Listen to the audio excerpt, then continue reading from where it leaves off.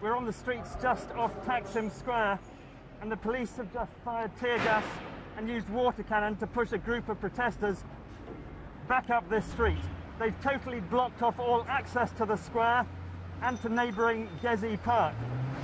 This is the type of tactic they're using, and it means that Tayyip Erdogan, the Prime Minister, has achieved his initial objective of clearing the park and clearing the square.